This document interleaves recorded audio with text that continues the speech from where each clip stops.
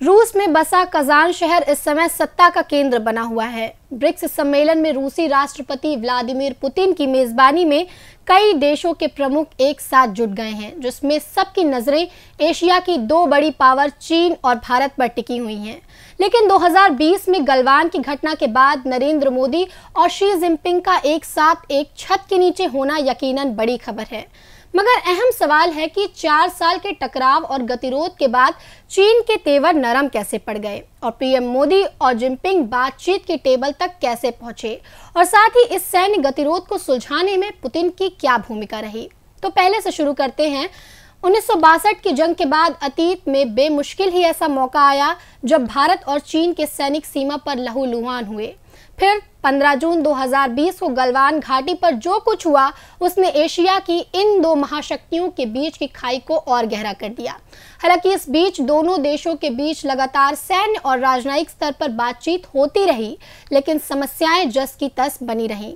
फिर आया साल 2022 जब रूस ने अमेरिका की धमकियों को दरकिनार कर यूक्रेन पर धावा बोल दिया। पूरी दुनिया बेशक दो खेमों में बटी नज़र आई, लेकिन यूक्रेन का समर्थन करने वाले देशों की संख्या रूस की तुलना में कहीं ज़्यादा रही।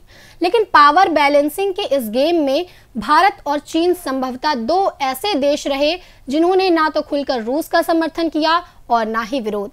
ये वो समय था जब अमेरिका और तमाम यूरोपीय देश रूस पर एक के बाद एक प्रतिबंध लगाते जा रहे थे। एक्सपर्ट्स का मानना है कि तभी पुतिन समझ गए थे कि अमेरिका को टक्कर देने के लिए रूस के लिए भारत और चीन का सपोर्ट बहुत ज़रूरी है। लेकिन गलवान की घटना के बाद से भारत और चीन के बीच के कोल्ड वॉर को ख़त्म करना बड़ी चुनौती थी। और इस चुनौती में एग्रीमेंट की स्क्रिप्ट शुरू हुई जुलाई एस की बैठक से, जो कजाकिस्तान में हुई थी, जिसमें सिर्फ़ एस जयशंकर ने ही नहीं, बल्कि राष्ट्रीय सुरक्षा सलाहकार अजीत डोभाल ने भी चीन के विदेश मंत्री वांग यी से मुलाकात की थी। कई रिपोर्ट्स में कहा गया कि बेशक उस समय इन मुलाकातों को सामान्य बैठकों के तौर पर देखा गया, लेकिन दोनों देश सैन्य गतिरोध सुलझाने की दिशा में काम कर रहे थे। और ये भी कहा गया कि दोनों देशों के बीच इस पेट्रोलिंग एग्रीमेंट में पुतिन ने एक बड़ी भूमिका निभाई। इसके बाद लाओस में भी दोनों देशों के विदेश मंत्रियों ने मुलाकात कर एलएसी गतिरोध को तत्काल खत्म करने पर ज़ोर दिया। और सितंबर में रूस के राष्ट्रपति पुतिन के साथ राष्ट्रीय सुरक्षा सलाहकार अजीत डोवाल की तस्वीरें भी खूब वायरल हुई। डोवाल 12 सितंबर को पुतिन से मिलने पीट्सबर्ग पहुँचे थे। इस मुलाकात के बारे में आधिकारिक तौर पर कहा गया कि पीएम मोदी के यूक्रेन दौरे के दौरान हुई बातचीत और निष्कर्षों से पुतिन को वाकिफ कराने के लिए डोवाल उनसे मिले थे। लेकिन एक्सपर्ट्स का कहना है कि पुतिन से डोवाल की मुलाकात की असली वजह चीन के साथ भारत के सैन्य गतिरोध को खत्म करना था। और भारत और चीन के बीच हुए इस एग्रीमेंट में पुतिन की कितनी बड़ी भूमिका थी, इसका अंदाज़ा इसी से लगाया जा सकता है कि 12 सितंबर को जब पुतिन ने अजीत डोभाल से मुलाकात की थी, उसके ठीक बाद पुतिन चीन के विदेश मंत्री वांग यी से भी मिले थे।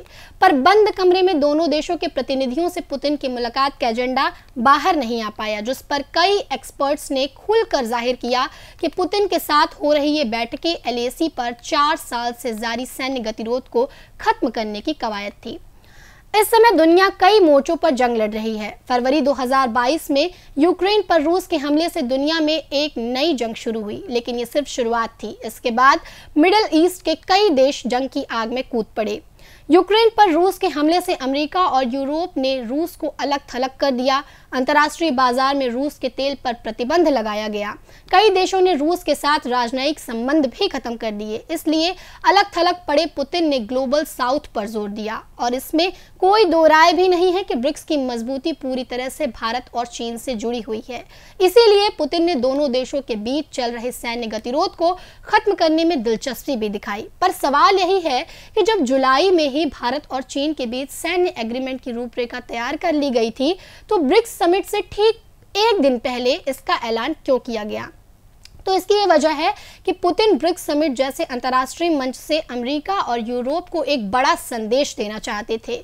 वो ये दिखाना चाहते थे कि उनकी पहल से दोनों देश बातचीत की मेज तक आ पाए हैं और ब्रिक्स की ताकत घटने के बजाय लगातार बढ़ गई है। तो भारत, चीन के बीच बढ़ती नजदीकियों और पुतिन के रोल पर आपका क्या सोचना है, आप हमें कॉमेंट सेक्शन में बताएँ। अभी के लिए बस इतना ही, मिलते हैं नेक्स्ट वीडियो में। शुक्रिया.